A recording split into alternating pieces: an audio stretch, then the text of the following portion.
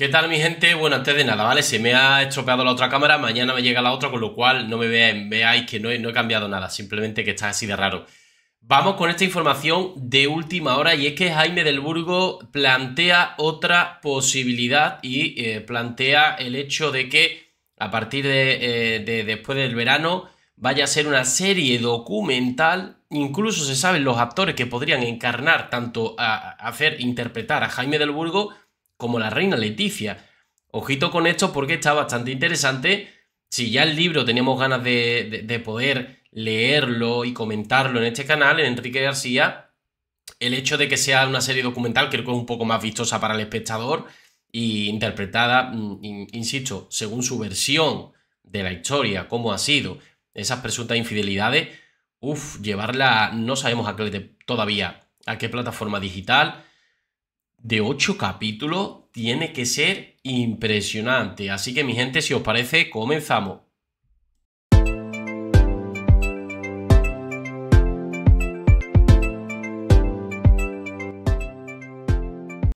Y es que falta muy poquito para que cumplan esos 10 años de que, desde, que se, desde que fueron reyes de España y también mm, dentro de poco hacen creo que 20 años, ¿no? De que están juntos la reina Leticia y el rey Felipe.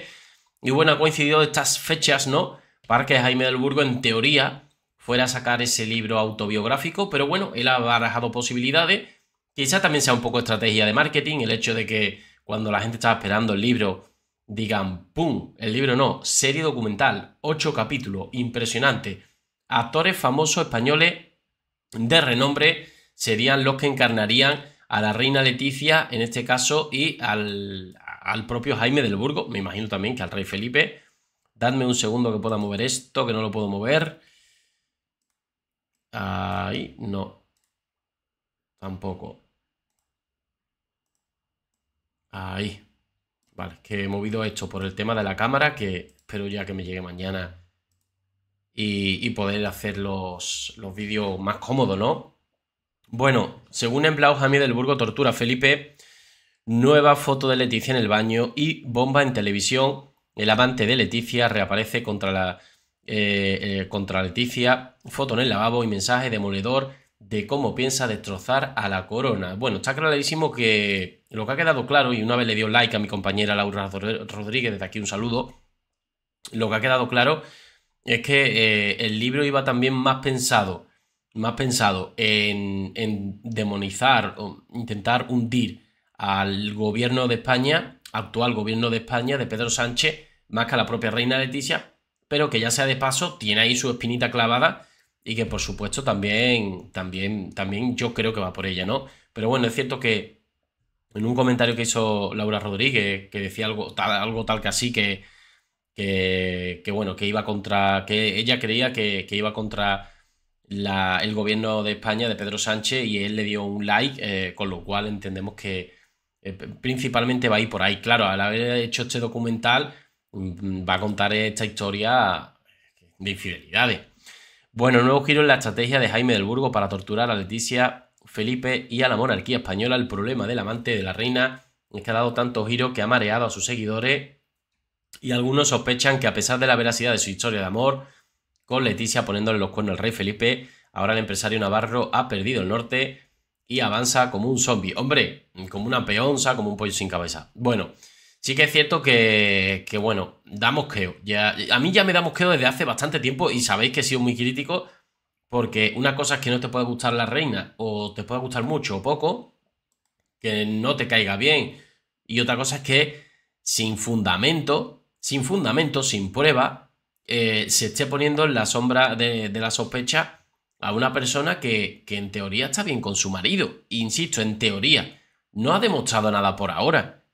Y encima tienen la neutralidad en la Casa Real española de, bueno, y en casi todas, ¿no? De no, eh, digamos, abrirse a especulaciones, de no poder defenderse. Y fijaros lo que está teniendo que, que vivir ella, insisto, sea verdad o no, sea verdad o no, pero imaginaros que para colmo es mentira o que no es del todo cierto, o que la fecha eh, sí que ha estado con él, evidentemente, pero es que ni siquiera habiendo estado con él, que tuvieron una relación en su momento, ni siquiera ha podido sacar una foto de ellos dos juntos, dándose un beso, cenando, que podría ser, porque han sido cuñados y han sido novios. Pero es que ni siquiera nos ha enseñado una mera foto de ellos dos juntos besándose, que podíamos decir, oye, pues mira, de fondo sale la pantalla de la televisión y sale el programa de televisión no sé qué y se puede saber qué fecha era más o menos. No, no, no, no. Que estamos hablando que las dos pruebas, las dos fotos que ha subido son absurdas, no dicen nada. Bueno, la cronología de su historia de amor es que fue novio de Leticia antes de que ella conociera a Felipe, amante de Leticia, cuando ya era princesa y Leonor, y Sofía eran pequeñas, tenían 3 y 5 años y después cuñado de Leticia casándose con Telma Ortiz ahora es enemigo de Leticia, culpándola de manipular a Felipe como un títere, convirtiéndolo en un agente secreto de la izquierda española, pro-etarra y eh, pro-indepe. Bueno, la segunda cronología como enemigo de Leticia en el último medio año tiene tres fases. En diciembre pasado colgó la foto de Leticia con Pashmina en un lavabo.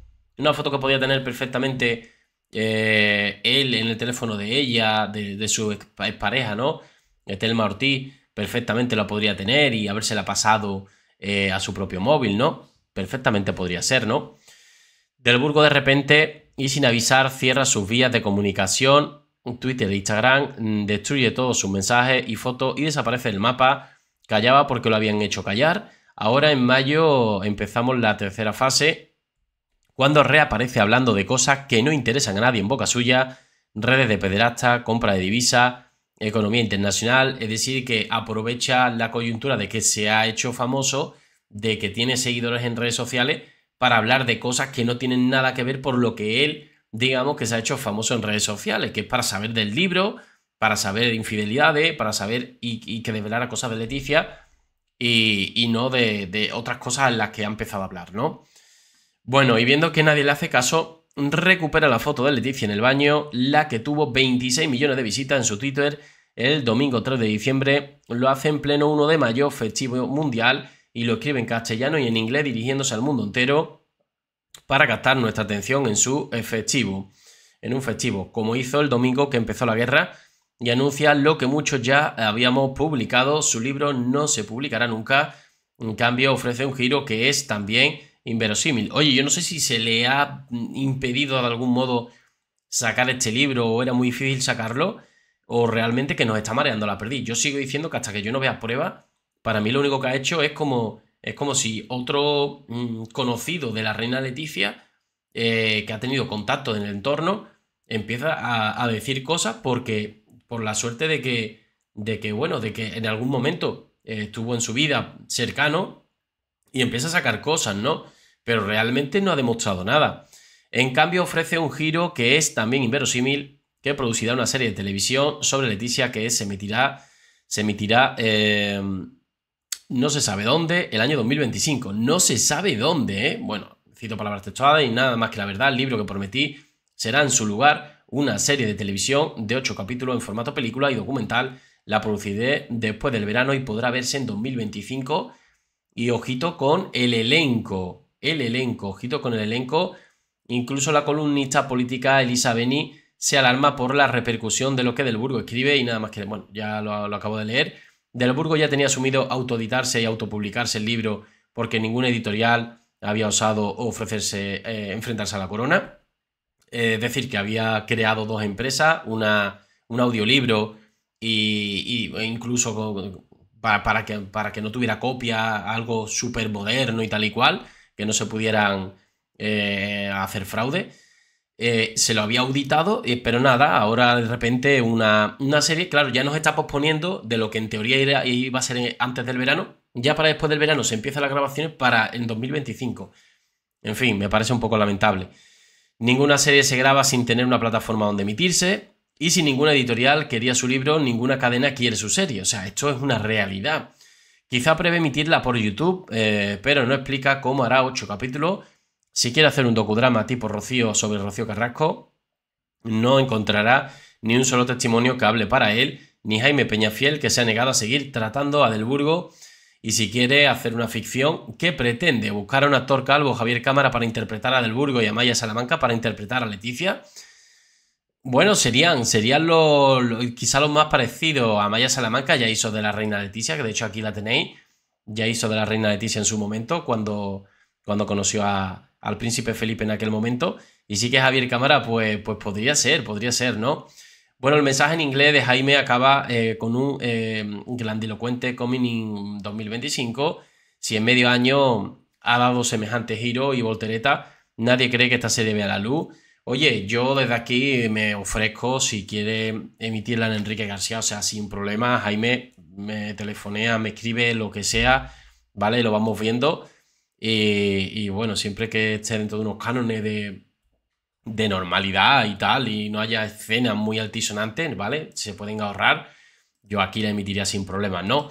Al final, mi gente, ¿cómo me lo tengo que tratar? Me lo tengo que tratar con humor, no me lo puedo tratar de otra manera, con ironía. Es que realmente este señor no ha dicho nada hasta ahora. Eh, soy el primer crítico con la reina Leticia o con cualquiera de los que hablamos aquí en este canal, pero que tampoco puede ser es que nos esté mareando la perdida un señor que no ha demostrado nada. Este señor no ha demostrado nada. Y, hombre, llevo ya bastantes meses diciéndolo que sí, que sí, que puede ser, que puede ser, que puede ser. O sea, una infidelidad no es algo, oye, si, si lo hace el vecino de enfrente, ¿por qué no lo va a hacer, evidentemente, la reina Leticia, ¿no? Bueno, perdona al vecino de enfrente, que no que era una forma de hablar, ¿vale?